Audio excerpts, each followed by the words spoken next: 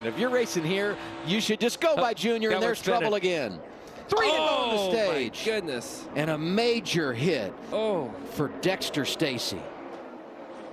Blaine Perkins with huge damage. He hit the end of the wall, Joey. Look Great at the when it kicks bounce. out like that. Oh, my.